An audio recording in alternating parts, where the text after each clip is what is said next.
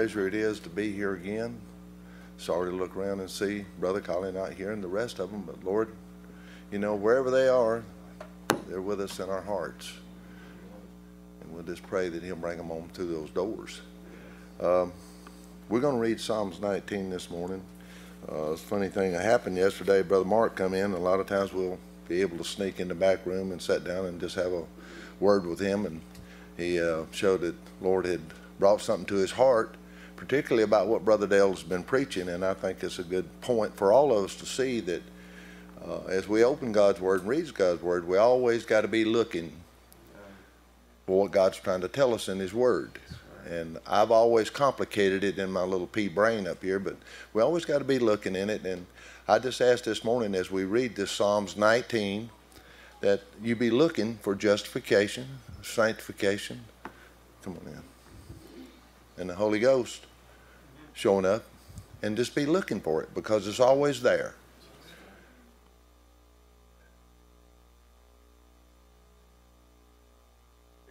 Before we open the word this morning, let's just uh, have a word of prayer. All of y'all, the, the ones that's not here today, just I hope it burdens your heart for them because faith comes by hearing and by hearing of the word, and we certainly have the word here. And let's just pray and ask God to strengthen the faith of the ones that couldn't come through the door this morning, all right? Dear Heavenly Father, we thank you for this place you've given us on this earth, Father, and this time that we've come to, Lord, that your word has come to full maturity, Lord, that we must take this word and all of it, not just part of it. We have to take all of it, Lord, and let us get out of the way. And Father, touch and bless these humble bodies, Father, and and feed our hungry souls, Lord. Place your word in us that you have your way with us and that our footsteps be your footsteps, Father God, on this earth. Because we're the only thing that this world is going to see you through us, Lord. Sanctify us, Father God, that we can fulfill that. And we ask now, Lord, as we come and open your word and you just come down and touch us, Lord, and be with each one here today that's come to hear from you, Father. Bless Brother Dale as he's preparing to bring your word, Father, and what messages he's been bringing, Father. On the simple things, as we say simple, they're not really simple, Lord, because I'm glad Brother Dale is preaching over and over and over and over again, bringing this word and sweeping it through our souls, Lord, that we can see our journey, that he is speaking of our journey, and we must see it, Lord open our eyes and our understanding. Bless Brother Wade and all the ones in the Sunday school classes here today. As your word comes forth to us, Father, and again, bless those that couldn't be here today for whatever hindrance they had. We ask these things and bless the opening of your word. We ask it in your name, Lord Jesus Christ. Amen.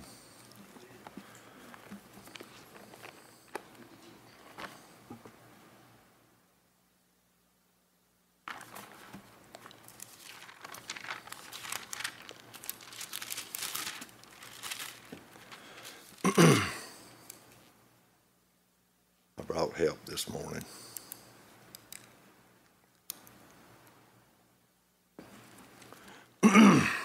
Psalms 19. The heavens declare the glory of God, and the firmament showeth his handiwork. Day speech, and night showeth knowledge. There is no speech nor language where their voice is not heard.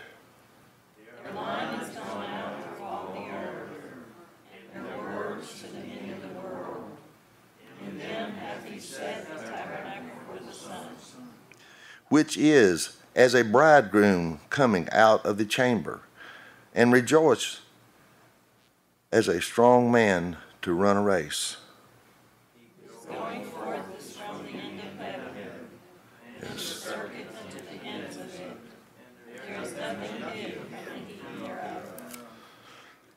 Let the law of the of Lord is perfect, converting the soul and testimony of the Lord is sure, making wise the simple.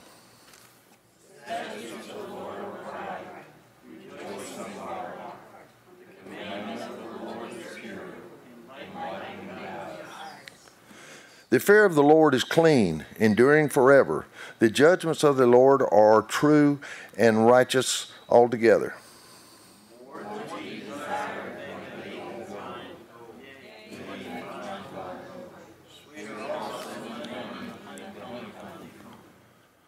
Moreover, by them is the servant warned, and in keeping of them there is great reward.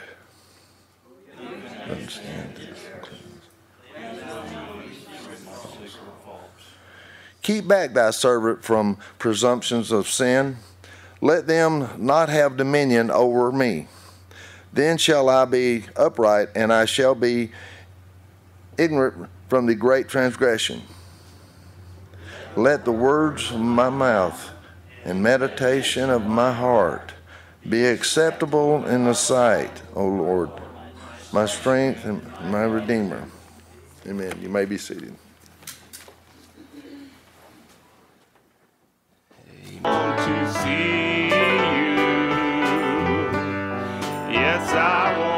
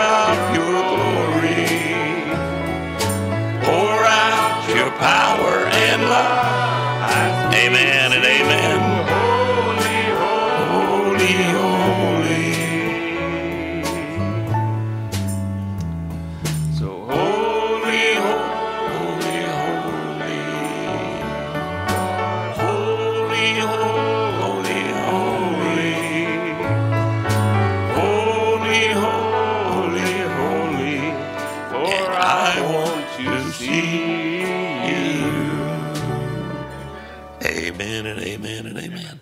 I want to see him, don't you? And good to see everybody in the house of the Lord. If you'd like to turn in your scriptures, turn back to where we've been reading from Ephesians and Ezekiel. We'll try to continue our thought. Moving on. Uh, I pray that uh, had a, we had a real good time last night in the Bible study. You know, we had almost as many as we have here. We had over 50 in the Bible study last night. And there's not much more here today. So that was good. I, I'm glad everybody had a good time. And we actually ran overtime because we got tied up talking and things. And so, you know, might do you good sometimes to just come and see. You know, well, I don't have this. Well, just come and see. You know, might have a good time, okay? But we did. We had a real good time. Now, remember the Lord willing, this coming Sunday, Brother Forney will be with us and uh, to minister unto us. And then remember the next one, which is the third weekend, which would be on Saturday, will be the fellowship meeting at Brother Tom Crochane. So remember these announcements that are made. I think Wade in June is going to be gone that weekend to uh, Arizona. So remember those and I want to just be much in prayer, okay? Any other announcements? Let's see.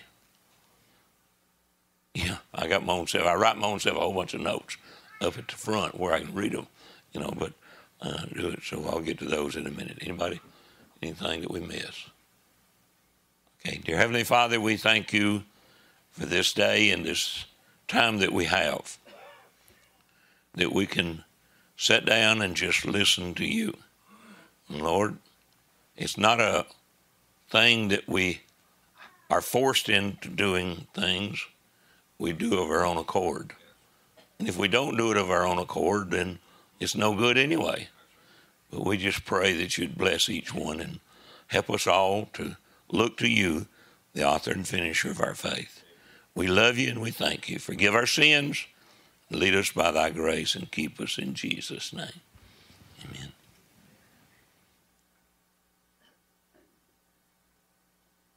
Ephesians 2, verse 8.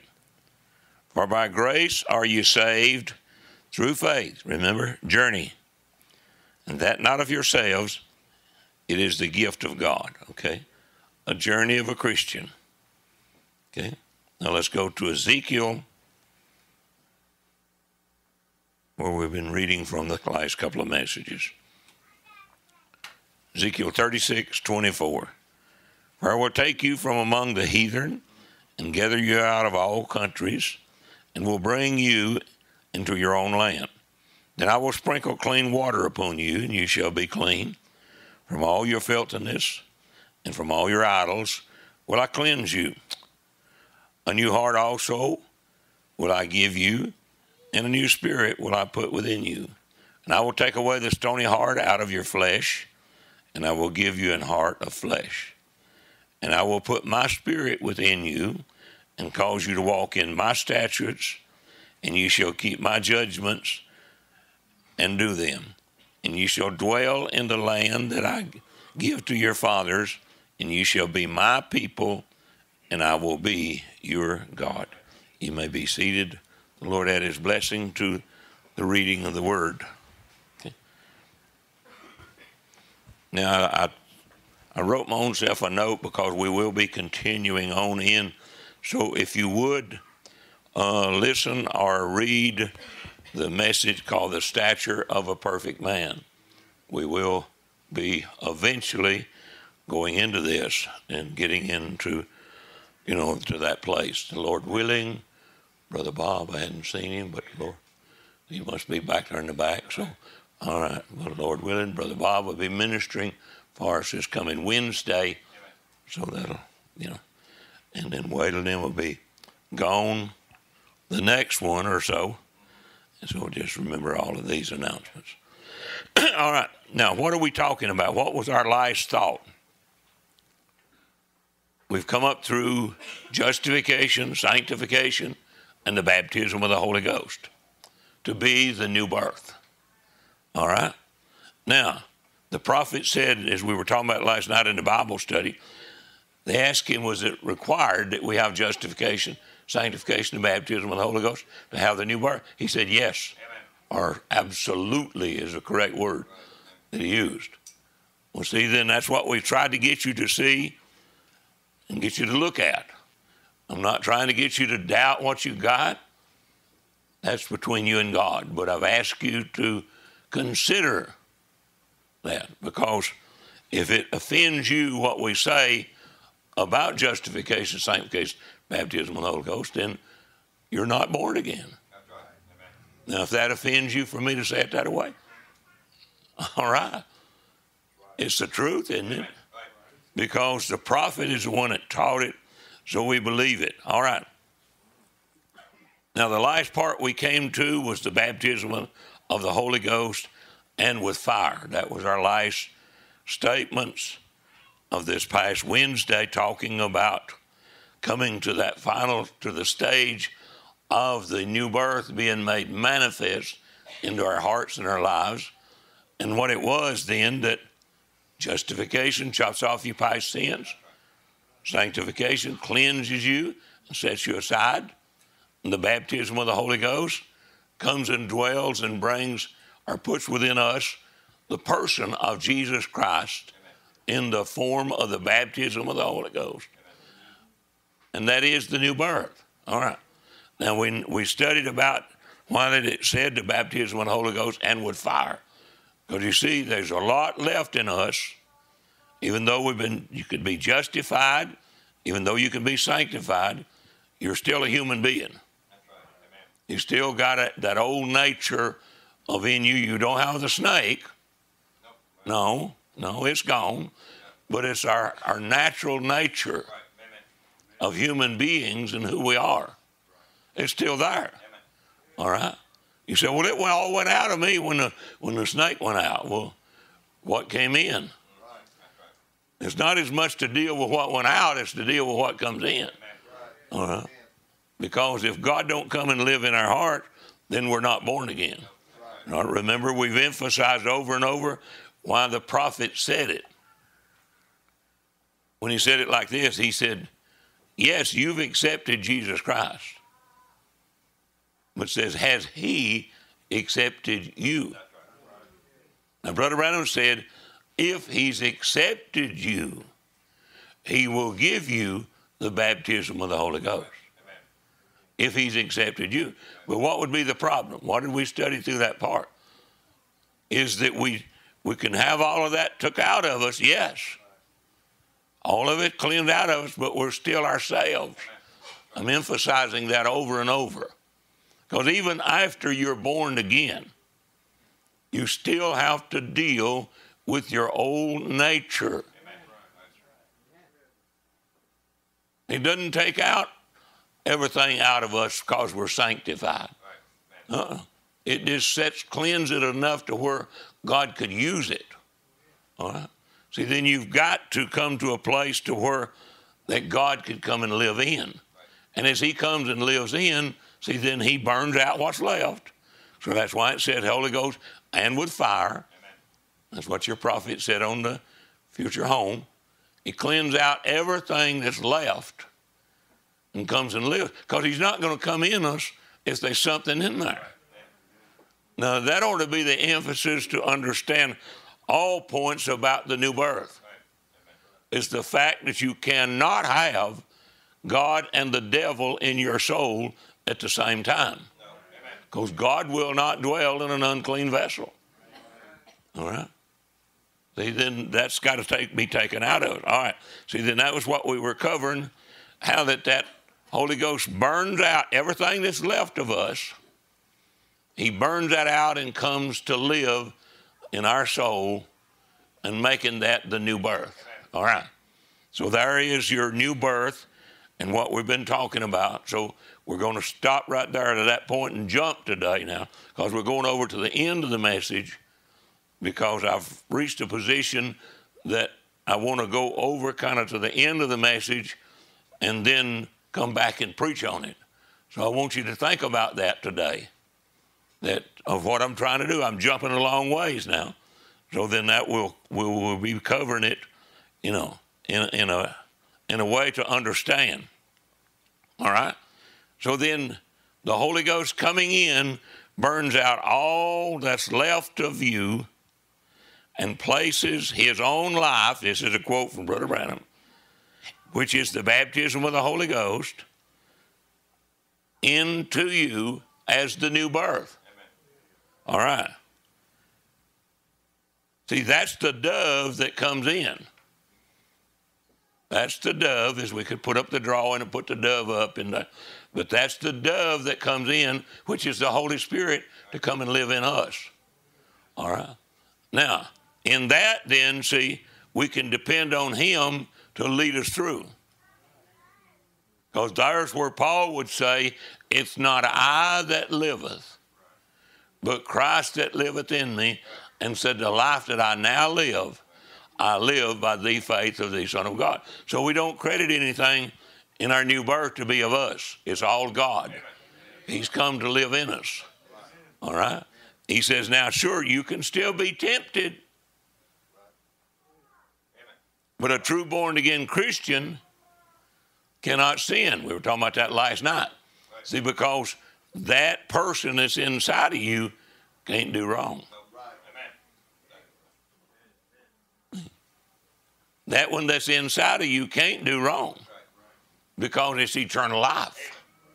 All right. So then we start from that point now, and I want us to, to move up, but I want you to watch the point now because we're going to go through a couple of things in, in the message and watch it. All right, we covered that the Pentecostals the message of their day, the message of the Pentecostals' day and time was three works, three stages of grace justification, sanctification, baptism of the Holy Ghost. Now, some of them that were called Pentecostals, you know, now, some that were called Pentecostals were some that, like your, what, would, what did Brother Run call them? The uh, something Methodist. There's a group in there that they they believe that sanctification is the baptism of the Holy Ghost. So, but they call themselves or record themselves as being like Pentecostals. Pentecostals covers a whole large thing from the oneness to the two-ness to the fourness to the Church of God to the Church of Christ. To, you know, but their message, I want you to watch that now because it's very vital to understand where they stand to know where we stand. Uh, that's the purpose of today. We're going to go over here, then we're going to drop back and pick up. So we'll pick up the stature of perfect man. Okay. Now watch. Then the Pentecostals' message was justification, sanctification, and the baptism of the Holy Ghost. But the prophet said they cabbaged down on that. All right. And he said they missed it. He said, because where Ezekiel says, I give you a new heart and a new spirit, he said the Pentecostal people took that new spirit as being that tongues and the shoutings and the glory, hallelujah, and believing that was the new birth. He said that wasn't it. Now, what about telling the Pentecostal people? I mean, the whole ranks of the Pentecostal movement and him telling them that they didn't have what they thought they had. No wonder they got upset with. No wonder they turned against him. No wonder he went from thousands in meetings to half a dozen. Why? Because the word began to open. All right, now evidently now, if he told them that, he being the prophet, don't you think that that Holy Spirit within that prophet would let him know what those people were doing? And how they were doing what with that new spirit? You remember how we brought it? He said in Ezekiel, I'll give you a new heart. He takes away the old stony heart. And give us a heart of flesh. We taught that in the Baptist church. All right? See, because we could see a little bit, but we didn't see the the you know new spirit, new heart. Eh, eh, I mean the new spirit and then my spirit. No, we didn't see none of that.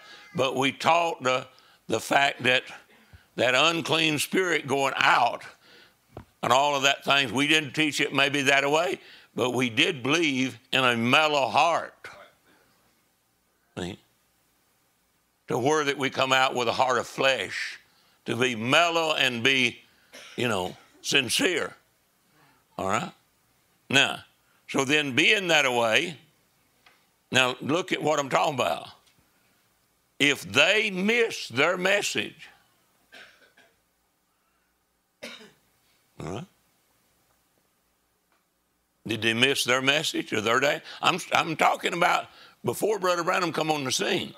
They had the message of justification, sanctification, and the baptism of the Holy Ghost. The Pentecostals had that before the prophet came on the scene. Right.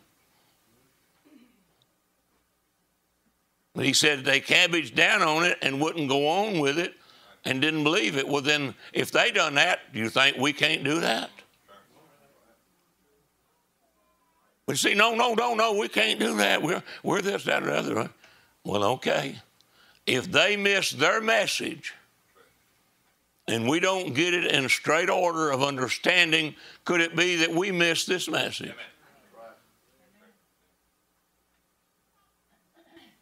Oh, no. No. Well, what's the problem with all of this now on the internets and all of these things? We've got one message. How many different doctrines are there from one message? Right? How many different ideas or thoughts or points from one message? Okay, now, you see, Ezekiel, as I tried to cover, Ezekiel is a marvelous scriptures in the point that he described what would be in the Azusa Street Pentecostal movement that it would go from a new heart to a new spirit, and I put my spirit in you.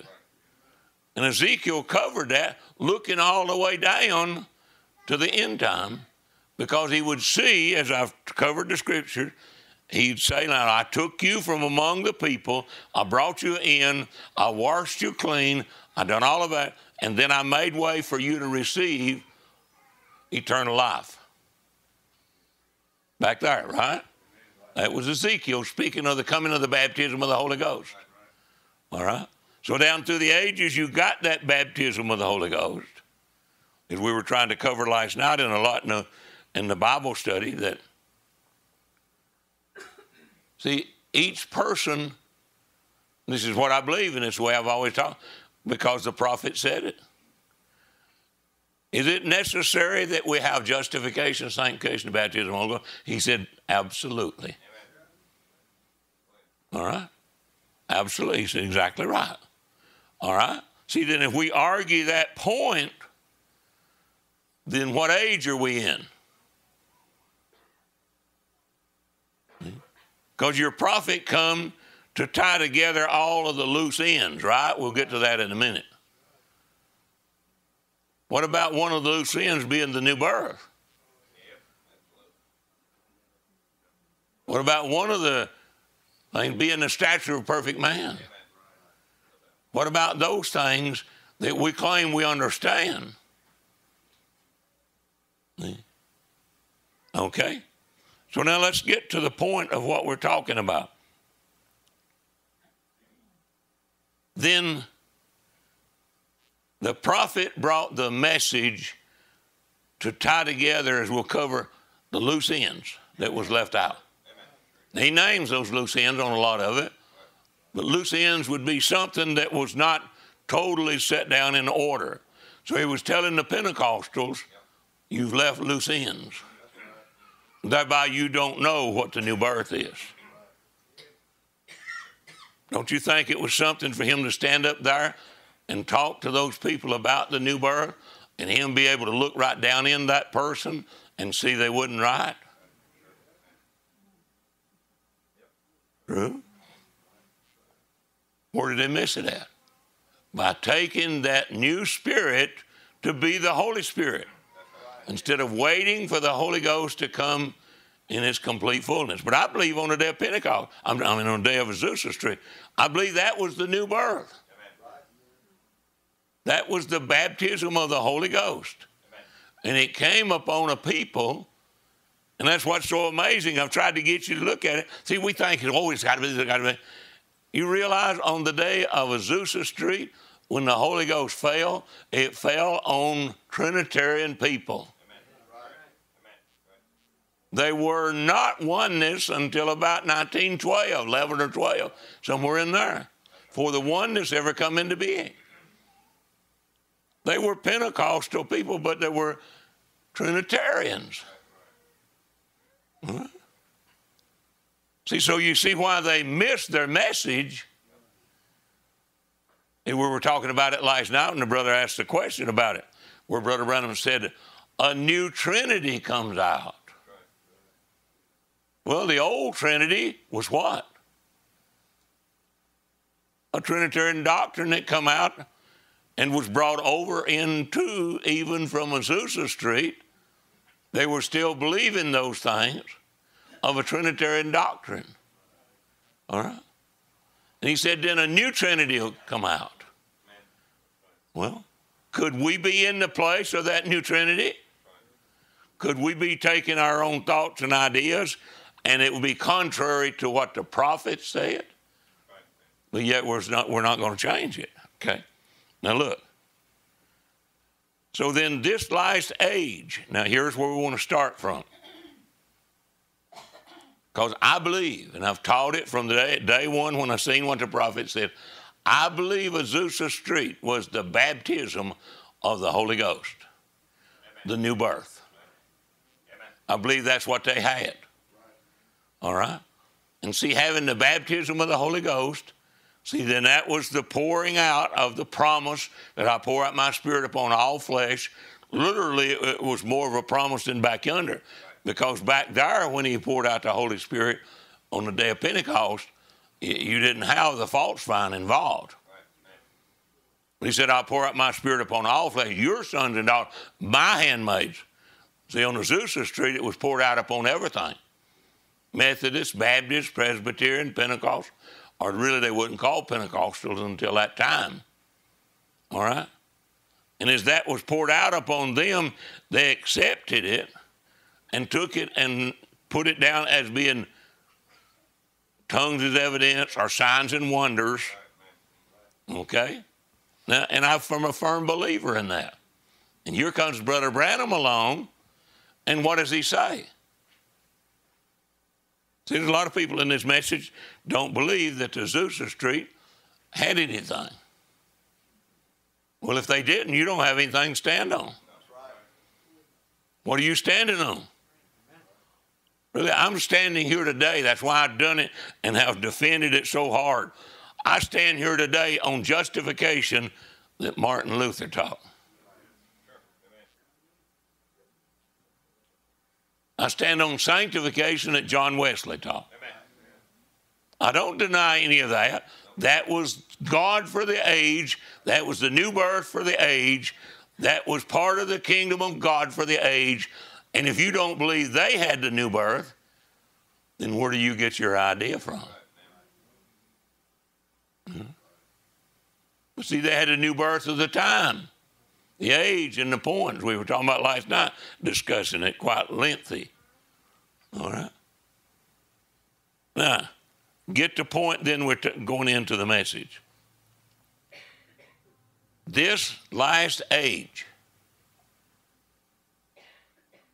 Azusa Street, completed the birth. Uh, that's where we're going to start from now. So you're going to have to hold on. It completed the birth. Okay? There's where your prophets told, and that's how much he made, I mean, pointed to what they had. They had the new birth. He said, I met people that had the baptism of the Holy Ghost 50 years, he said, before I come along. The genuine, now listen, he said exactly like on the day of Pentecost. Did you think people accept that? I told you about it. We were sitting in a, minute. I was two brothers. We, we were at a place, we were sitting there discussing it, and that topic came up, and they both said they couldn't understand. I said, why, why can't you understand? I said, on the day of Pentecost, there was two things took place. The upper room experience was 120. They had been tutored by the Lord Jesus. And when the Holy Ghost fell, it gave them what we would talk about the stature of a perfect man in the thing. Not the headstone because it hadn't come yet, all right? But 3,000 outside only heard one message. So there's a simple answer to the prophet saying it. He wasn't saying that the 120 in the upper room just had a small amount. No, he was saying they were genuinely born again. But the ones outside, see, had the new birth, yes. But that new birth, there was not a one of them out of that 3,000 that was used to write the word. All that was used to write the word come from the 120 in the upper room. Why? Because they didn't have it. They were having to depend upon that. That's why Peter was teaching the stature of a perfect man. Who to? Who to? To the 3,000 that received the Holy Ghost. But that was only the new birth for their age and time. We'll get to that in the stature of perfect man as we go along. All right? But watch now. Go ahead with number one and let's read a few of them. But then, if the Pentecostal message was the last message, with justification, sanctification, and baptism of the Holy Ghost. The last three messages, the last three church ages, forms the complete birth. Okay? Now, is he right? He's talking about the Pentecostal people that they've that completes the birth. All right? Now then in a minute we'll get to it where he said, but there was a lot of loose ends left. But it completed the birth. Well, as people say, well, I don't believe them, them uh, Azusa streets had the new birth. Well, I don't believe you got it if that's what you believe. So we got each other fighting with each other about it, right? Because why can't you believe they have the new birth? Well, they had all these problems and this, that, and the other. What's your problem? If we're going to put it on problems, what's your problem? Huh? I'm going to try my best to believe what that prophet said that he met people with the baptism of the Holy Ghost. Exactly like the day of Pentecost. All right? Are you going to accept that point as to be what he said? Do you need that one? We, we can bring all of these up. Right? But look what he says. The last three ages completed the birth justification under Luther, sanctification under Wesley, the baptism of the Holy Ghost under Azusa Street, or we would call it the Pentecostals. Completed the birth, or in other words, brought the birth back to where that it would be like the book of Acts. See, there's where you'll go with it and, and do, but won't listen to what somebody that's trying to explain it is saying about it. You'll go, I, I don't see how them Pentecostals could have had the baptism of the Holy Ghost. Why, look what they done. They had this problem. They had a, well, what's your problem?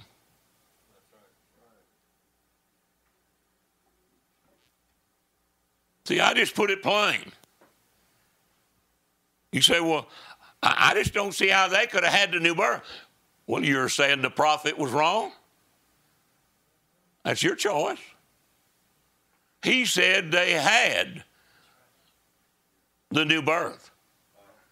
He said they had, and that it was completed in that of that new birth. Well, I never thought about it like that. Because I heard Brother so and so saying all they had was just gifts and signs and wonders. What do you think they had in that day? If they had gifts, they had the Holy Ghost.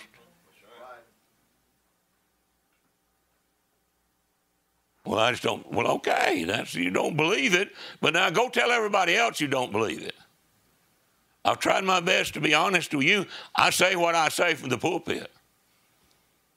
But you go yakety yak to each other about what you believe, then where I'm wrong.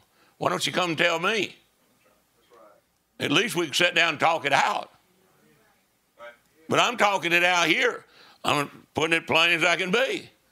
Your prophet is the one that said it, not me, that the last three ages completed the birth. All right. See, then they must have had the new birth.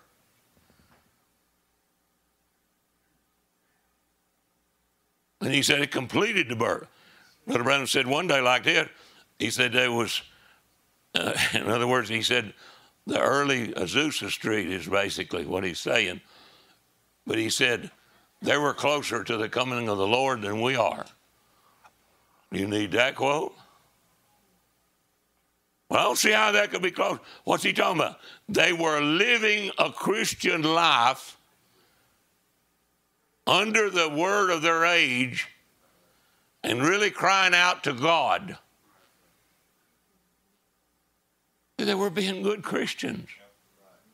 Right? All right. See, now watch. And then you say, well, what are we, what are we here and what are we doing? All right? We're here to understand the Word of God and to walk therein. All right? Now, so are you, you satisfied with that? He said it completes the birth. Okay. Well, then, that was back there. Well, I just don't believe it. Well, he said it, so you're arguing with him. Now, that's, that's nothing to me and you. And you sit in my office and say, Brother Dale, I don't believe it. I'm going to say he said it, and you saying you don't believe him. Because he's the one that said it. Well, I think he meant. Well, now, I don't care about your mints or me either one. What did he say? That's what he meant. Right? Okay. Now let's go to number two and pick up a thought and get into this for the rest of the message. He's talking about in this last age and how that it's going to come to where we're at. All right? So listen. Takes the book, seals, and breaks them and shows the seventh angel. For this alone, the mystery of God is the ministry of the seventh angel. Okay? That's the ministry of the seventh angel. Is to what? To tell us about these things. What did Brother Branham come for? Well, we just come through the ages and history to prove it. And it's the angel's message of the seventh church. All right. Revealed all the mysteries that's been in the past, all the things in the past, Revelations 10, 1 through 7. That's to be. And remember, in the days of the seventh angel, he is sounding forth, blasting forth the gospel trumpet. He is to finish all the mysteries of God. Okay?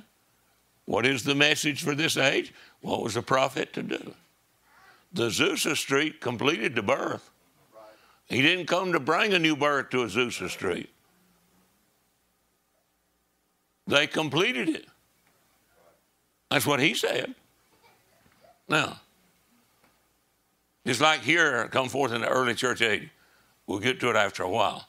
First, it was a doctrine, they says it in. Then it become a saying first, then a doctrine. And then there, then become a statute, then become a church. And through the dark ages and out of the dark ages come the first Reformation. Luther and he brought with him all kind of mysterious things that happened during that church age, all back in see. But he never finished it up. Luther didn't finish it up. Wesley didn't finish it. Azusa Street didn't finish it. It's this message that's the one for the finish. Not Luther and Wesley done the, they done the best they could do. They had God for their time, and they they come forth with the message. All right, listen. Then along come Wesley with sanctification, some more of it, but still never finished it. Left loose ends everywhere, such as sprinkling instead of the baptism. And Luther took Father, Son, and Holy Ghost instead of the Lord Jesus Christ. All these different things. But there's where we take that and say, well, Luther and Wesley and them didn't have nothing. Now, Brother Branham said the, the birth was completed on Azusa Street, the message. Right? Well, then, West, Luther and Wesleyan, you say, well, Luther and Wesleyan didn't have nothing. I'd like for you to show me that. Because they had the new birth for their time. All right? And if they didn't have the new birth, they're not in the body of Christ. Because it requires the new birth to be in the body of Christ. All right? So then let's let them be what they are. They had loose ends. Why? Because they were not prophets, they were reformers. Right? Then along come the Pentecostal age with the baptism of the Holy Ghost. Cabbage down on that. There cannot be no more ages. That ended that now. That's all of it. That's the Phil or the uh, the Laodicean. But then we found in the studying of the Scripture that the messenger to the age come right at the end of the age every time. Paul come at the end of the age. We find out Irenaeus come at the end of the age. Martin, end of the age. Luther, end of the Catholic age. And what Wesley at the end of the Lutheran age. And the Pentecost at the end of the age of sanctification through the baptism of the Holy Ghost. So what come forth? The Pentecostals. All right. And at the end of the Pentecostal age, we are supposed to receive, according to the word, as God helped me tonight to show you through here, that we are to see, receive a messenger that will take all those loose ends out there and reveal the whole secret of God for the rapturing of the church. Now that's Brother Branham's message, right? That's Brother Branham, right? Okay. That's the one we're talking about that we claim to believe. That's the one that said that the Pentecostals had completed the birth. Right? Then there's coming forth seven mysterious thunders. See, that's where we get all that tied up. I believe through those seven thunders will be revealed in the last days in order to get the bride together. Okay. Know, we ain't going to deal with that part. We're just going on with what we're talking about. Because I'm trying to get you to see one thing. When the prophet come to bring this message, there was a lot of loose ends. And he had to pick it up and bring it forth. Okay, let's go. Go to number three.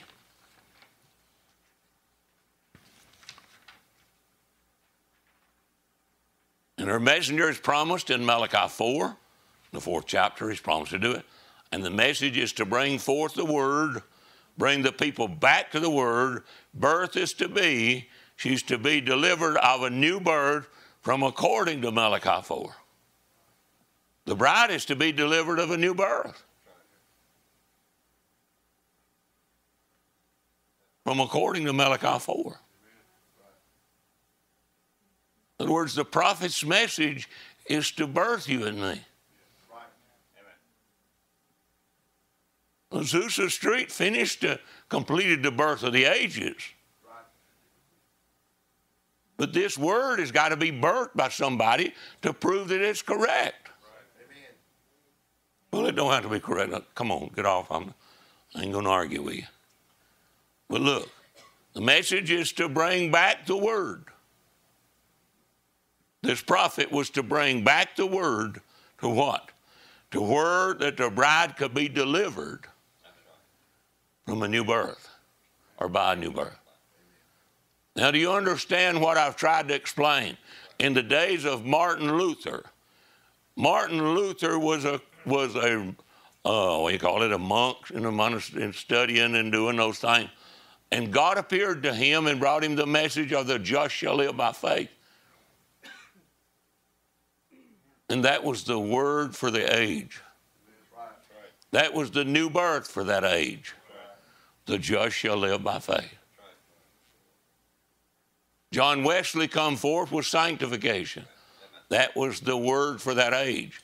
That was the new birth for that age. Huh? Azusa Street came forth with the baptism of the Holy Ghost, the restoration of the gifts, signs and wonders, yes. But that was the birth of the age. See, then here we come, and what do we get? We are to be delivered. Amen. That's what he said. She's to be delivered of a new birth from according to Malachi 4. Who is to be delivered? Amen. The bride of Christ. This message has got to be birthed by somebody. A birth means a coming forth into. Somebody's got to come forth into this message and be the very message. Amen. Right? Because if they're not, do you realize all the rest is waiting on you and I. Amen. Everything's waiting on you and I. For us to give birth to the message that has been brought. Well, I just don't see nothing like the. Well, that's that's all right. You can take what you want to, do what you like. But you see, when then Brother Branham would make statements, people just go, "Hey, you are. Look at the next one. What does he say?" Number four, look what he says. And then we find out then these mysteries are supposed to be revealed. And why didn't these other men, Wesley, Lutheran, these great reformers who brought out justification, sanctification, Pentecostal age with the baptism of the Holy Spirit, still why didn't he catch these, these messages? Why didn't they get them? Because they were reformers. That's the reason Luther and them could not go any further than they went. They were reformers. All right? Well, look. And take on the other side, there was people come in who was Paris kings, as he explained. But these, the reason that all of the stray ends of the mysterious part about justification, the mysterious part of sanctification, the mysterious part of the baptism of the Holy Ghost. Now, he said they went through their time and their ages and done what they're supposed to do, but there was a mysterious part left. A mysterious part of justification. A mysterious part of sanctification. A mysterious part of the baptism of the Holy Ghost. Now remember, that's in the seals where he's explaining it. What is the mysterious part of justification? What is the mysterious part of sanctification? What's the mysterious part of the baptism of the Holy Ghost? That the seals is to bring out. That the prophet was to bring in, not me and you, not Brother Dale or anybody else. It was the prophet to bring the ones. That's the reason I read that, where he was to come forth and bring together all the loose ends. And he did.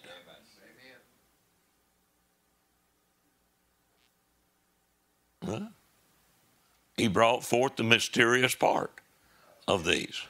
All right? But what did he bring, Brother Dale? Well, he brought the mysterious part. In other words, he brought justification from what man thought it was saying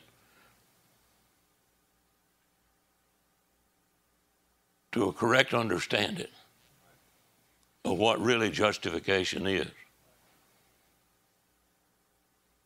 He brought sanctification from a place of what man thought it was.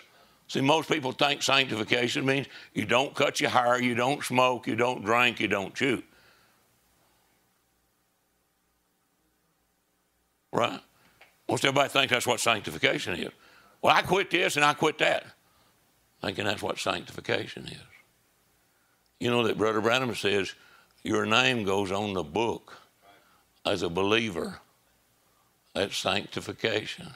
No, my name went on the book before the world. The prophet said it. Sanctification means a whole lot more than what we think.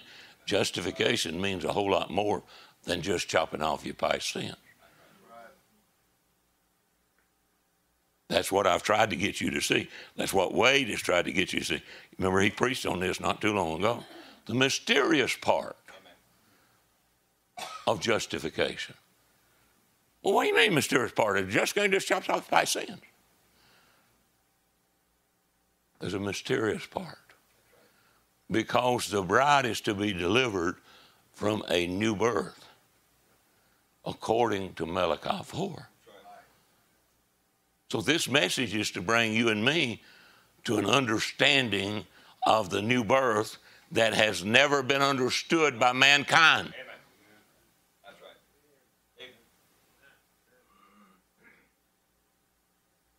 Amen. Right.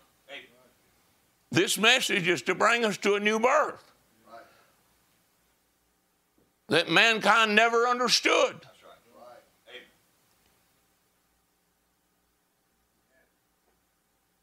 So, what is it? Huh? What is this mysterious part? It was something that was not revealed, but yet it was spoke of all the way back through. Ezekiel, in his saying, a new heart and a new spirit, and I put my spirit, he was explaining this mystery. Huh? But do we understand it? I'm talking about a mystery. I'm talking about something that nobody before this prophet came had it in its total clarity because in the Old Testament they could not bring those things to the right order because they were not born again. Right? See, but when the prophet came on the scene, now watch where he lays these things out. What is the mysterious part of justification? What is the mysterious part of sanctification? What is the mysterious part of the baptism of the Holy Ghost? All right? What do we find justification to be?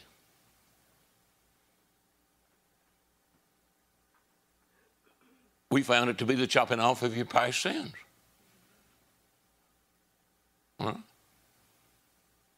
Now, that's been understood by everybody.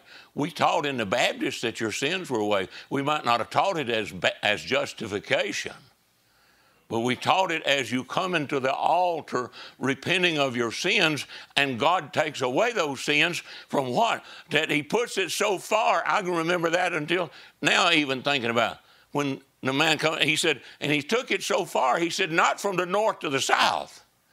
He said, because that won't work.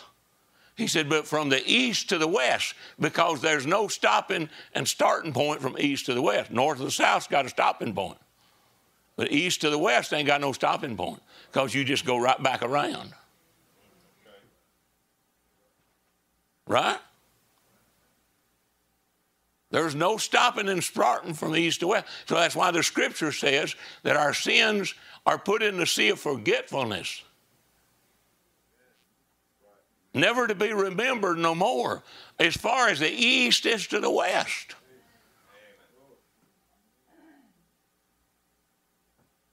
Which is no stopping and starting. So whatever he done with my sins, they still cannot be brought against me. Because they're in his sea of forgetfulness. The justification is a great thing. But what about when your prophet come into it? Let's run through this in a hurry where you can get it. Because, see, I'm trying to put this here and then we'll drop back. You go to a little message where Brother Branham was talking about called the invisible union of the bride of Christ. I'd ask you to do that. Go to that message and listen to it. I ain't got time to listen to no message. I'm, Ain't nobody going to tell me what to do. Okay? You flunked algebra. Yeah. They, they had a teacher over at Banks County that she was real good at algebra. And anybody that studied under her were top notch in algebra. But Bud, she would flunk you in a hurry.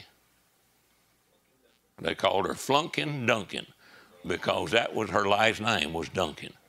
And Bud, she would flunk you on that if you didn't do what was right. She didn't have no halfway between. Didn't do no good to take an apple to try to get her on your side.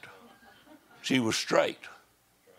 But those who believed and stayed with her come forth as to being great algebra masters, right? Because of the way she was doing. All right. But see, justification, what does it do? It chops off our past sins. Go to the invisible union and listen to it. See, it would take the whole book for me to express. I'm asking you to. And if you ain't got enough in you to go study that message, then you don't care what's being said. Then you don't know what Brother Branham said. See, in that message, he covers justification as chopping off your past sins. In that message, he goes on to cover justification was the fact of what? You were guilty of doing it. You done it. But it was as though you never done it because God took it away. Study that from that message of invisible union. It was though you never done it. Stage two. Stage three of justification is that you are so pure and clean that the real you never done it. Go to Invisible Union and study the message. You claim to believe the prophet, go study the message. Where do you think I got it at to teach this from? From the Invisible Union. Because in the Invisible Union, he covers that your sins are chopped off. Then he covers that it's as though you never done it. Because he took your place and put your sins in the sea of forgetfulness. But see, the real you, which is not you as a human being, the real you is the person of the baptism of the Holy Ghost living in your soul. Right? The real you is the new birth. That new birth never did sin. But we done all of them things. But you can't make him a sinner. It's a mysterious part of justification. Where we taught of sure chopping off your past sins. Sure, we tried to bring it up a little further and talk about the sea of his forgetfulness. Never to be remembered no more. But you see, your prophet started right there and took it on to showing that the real you, the baptism of the Holy Ghost, never did sin. That's why the Bible says that his seed remaineth in you and you cannot sin. But, but, but, but Brother Dale, Brother Branham said Christian sin. Where do you sin as a Christian? You better not be sinning from the soul, because if you're sinning from the soul, you ain't a Christian. You better get out there in that spirit realm in your memory and start to sin from that point. So then the Bible's right, the prophet's right. What? It's impossible, he said, for a Christian to sin. Then he turns around and says a Christian is the only one that can sin. Is he wrong? No, he was teaching it correctly.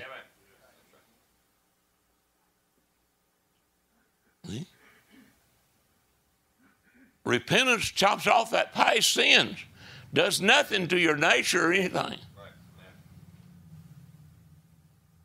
All right? So you see it?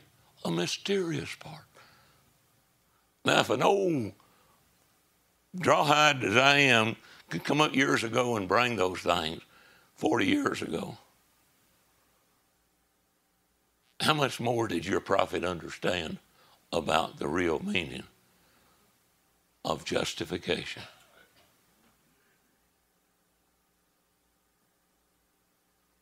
What do you mean? I mean, if he's put our sins, in the sea of forgetfulness, they can't be remembered no more. That's a pretty good state of, sanct- of justification, don't you think so? And the Bible says, those who he's justified, what? He hath already glorified. If you were genuine and repented of your sins, they were chopped off. If you're genuine, you want to go on. You'll go on and prove that you'll be glorified one day. You got a journey to travel too, but you prove you're right if you're a genuine Christian. All right? Sanctification. See, sanctification, like justification, is taught in three stages.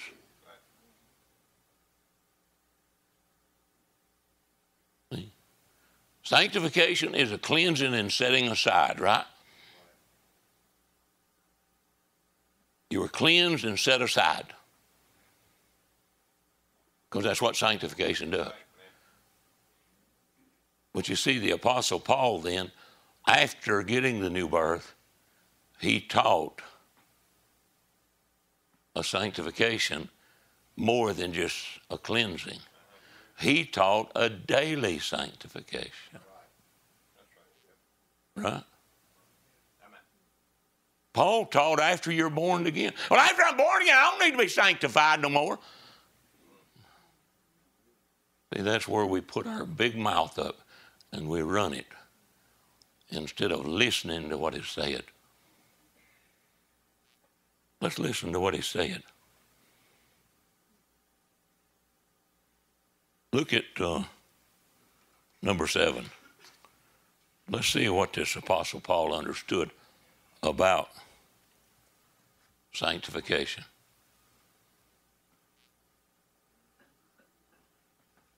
First Corinthians 15 31. I protest by your rejoicing, which I have in Christ Jesus our Lord. I die daily. When he's already born again, what do you need to die for? Because of what we do every day. What do we need to repent for? For what we do every day. Okay, let's see what the prophet said. Go ahead to number eight. All the days of our life. But we are who are bond slaves to Jesus Christ. We are slaves of joy. I'm so glad that I got shackles on me. That shackles me away from the things of the world. That I could become a slave to Jesus Christ. To serve Him in love, and you and my brethren and sisters who are like precious faith who's been born of the Holy Ghost. Well, that's, that's, that's no, come on, read what he says. That's had the blood of Jesus Christ to sanctify and cleanse you from all the filth of the world, that died daily to your flesh.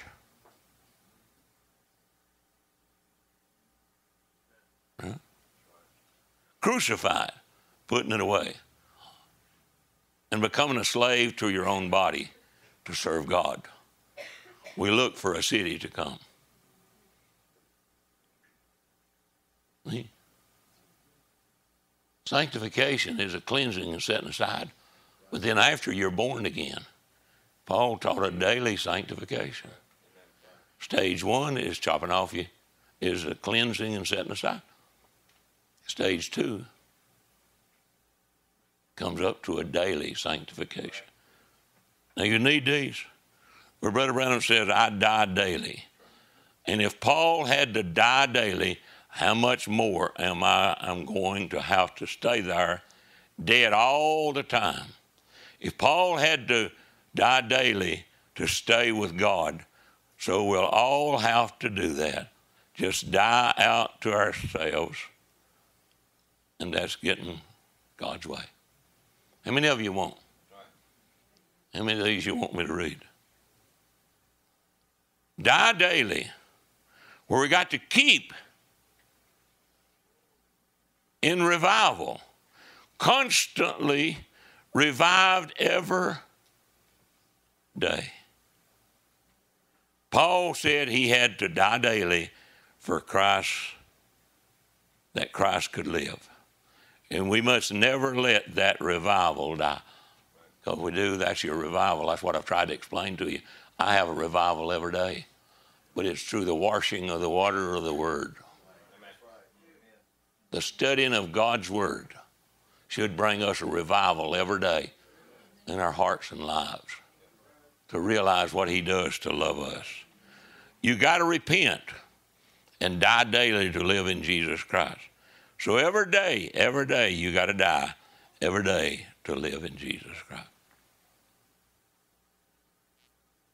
See? Brother Branham, we have problems. Number 13, contending for the faith. We're tempted. All of us are tempted. All of us sin. There's none without sin. Every day you sin. And Paul said he had to die daily. And if we say that we sin, and have no sin, then the Bible says we make God to lie.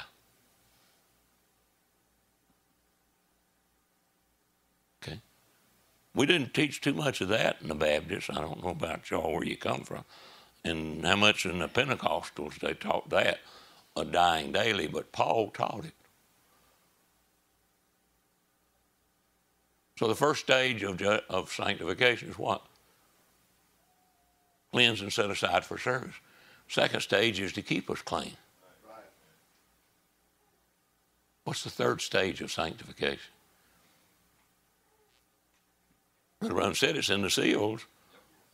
So Wade covered it. What is sanctification under the seals? There's going to be a cleansing of this whole world under the sixth seal.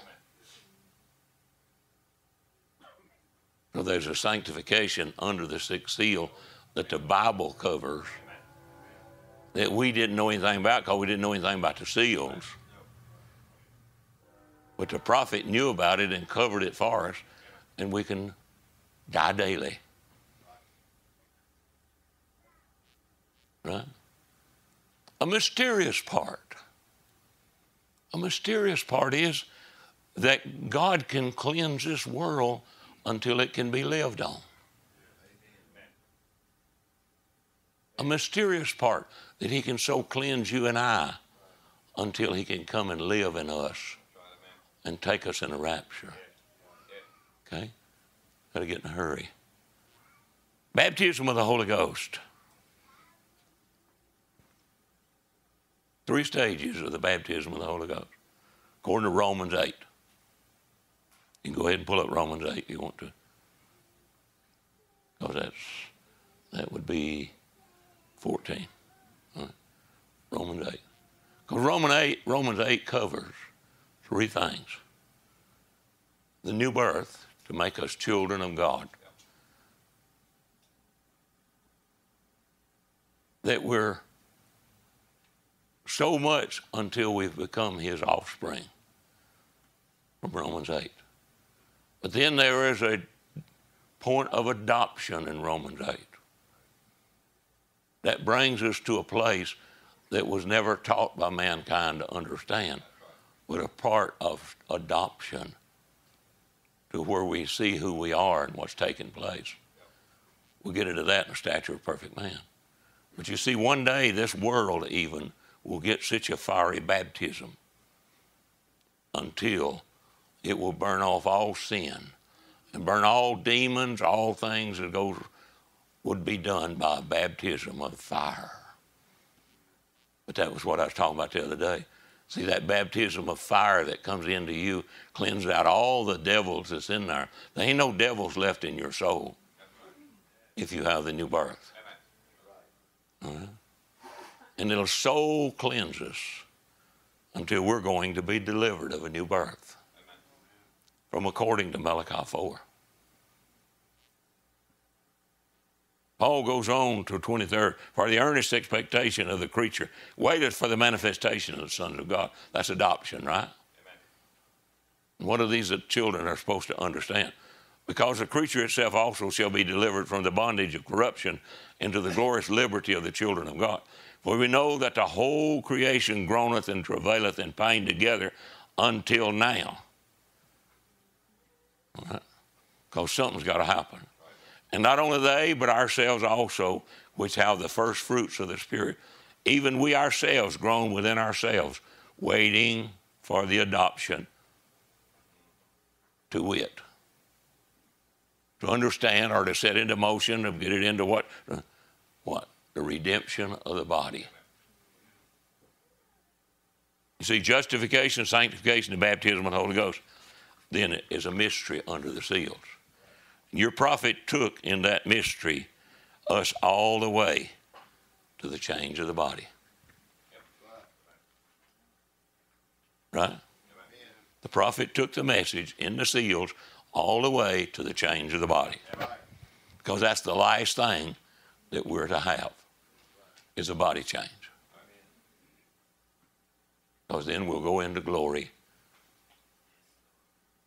you see what I'm talking about? The prophet said a mysterious part So there was things that was not understood about the justification, sanctification, and the baptism of the Holy Ghost. But the prophet brought it and showed it to us.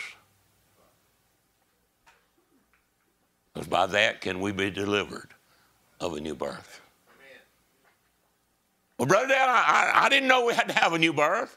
We got to have a birth of the message of the age. Not another birth to go back and be born again, but a point of being truly, completely born again. I've always taught you one thing. Let's see how many of you can remember it. When our body, soul, and spirit is totally redeemed, surely you can say, I have the new birth. You remember that? That's 40, 50 years I've been preaching that because that's what I believe. That if we come to the place that we're so cleansed and set aside, so filled with that baptism of the Holy Ghost,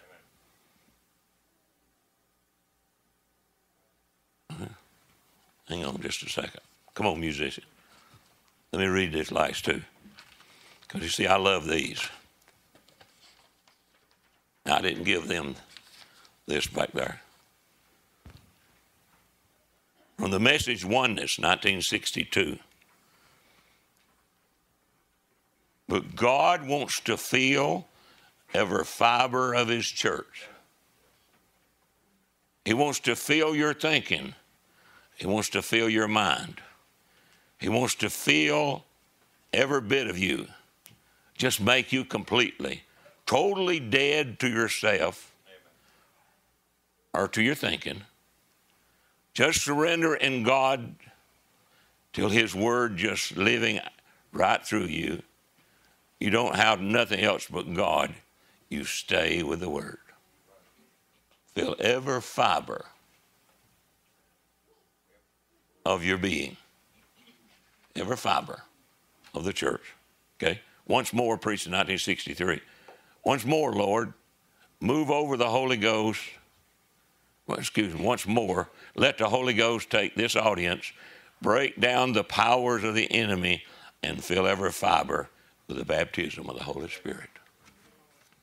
I've always quoted that to you because I believe it. So you say, Well, Brother Dale, what are you looking for? I'm looking for such a baptism of the Holy Ghost to come that it'll fill every fiber of our being and take us in the rapture. But what is the baptism of the Holy Ghost? The revealed Word. Come on, what is the baptism of the Holy Ghost? The Word made alive.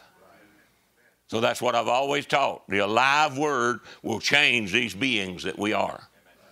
The prophets brought the message. We don't have to look for anything in that. We have the message. We are to be delivered of a new birth from the message that we are in this age of Malachi 4. To fill every fiber of our being and take us into rapture. See, I look for something to take place. Yes. California had an earthquake the other day, six point what four, something. They had another one. What was it yesterday? Seven point one. Now your prophet said it like this. He said, after a series of earthquakes, California will go under. A series means one after the other. So they've been they have probably a thousand earthquakes a day in California.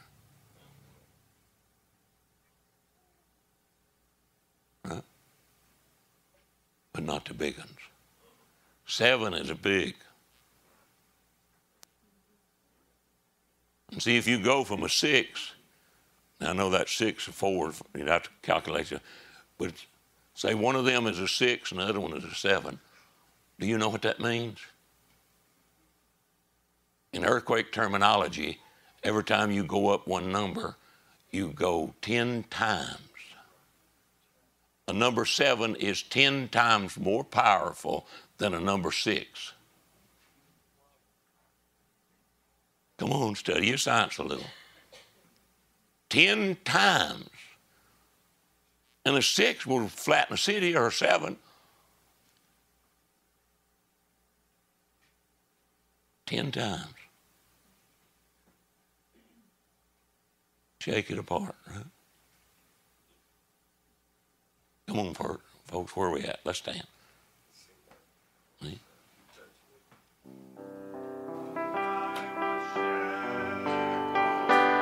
Study the stature of a perfect man because we took it today right up to the change of the body. This message has a change of the body in it. We're not looking for another message or a messenger to come. This message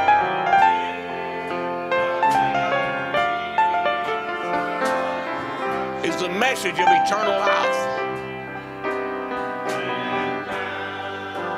This prophet come to tie together all the loose ends and bring the message to the change of the body. We don't need to look somewhere else for something. Look at what we got.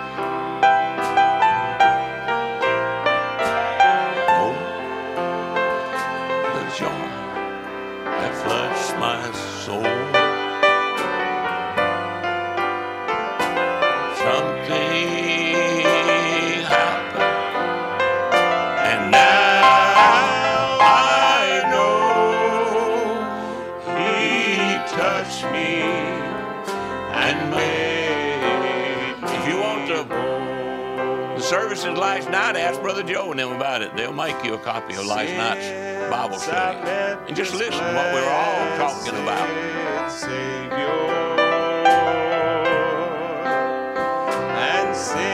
Get into a very interesting point sometime.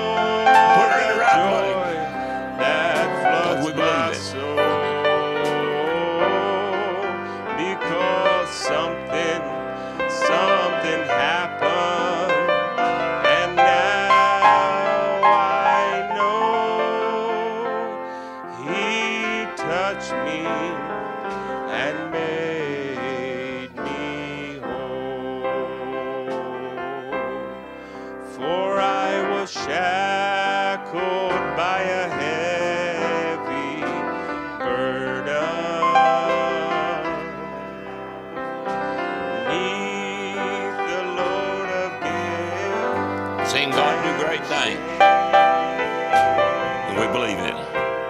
So we just send this. Father, in the name of Jesus Christ, our sister has a great desire in her heart. She has a, a big desire for her family. Lord, you just reach down and touch them. We send these prayer cloths, and we believe it that whatever she is asking for, they'll be done because you promised it. In Jesus' name. Anybody? And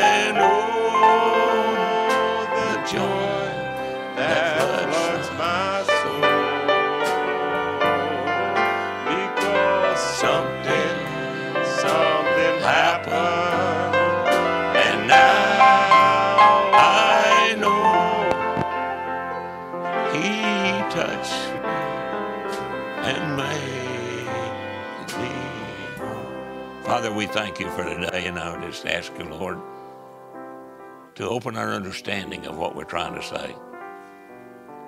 Because we believe the prophet brought everything right down to where we're at. And we stand here looking and desiring to see a finish of all of these things. And to know that when it's finished, that Father, we give all the honor and glory to the one that brought the word unto us. We just ask you to help us. Help us to see, like the things the prophet would say, a mysterious part. He knew there was great mysteries left there that would have to come forth. One of those would be a new birth from according to Malachi 4. How much more do we need it then? We need to seek after you for understanding of what we do have need of, but to glory in what we've seen. Let your love and your grace be with us all. Guide us in Jesus' name. Amen. You're dismissed.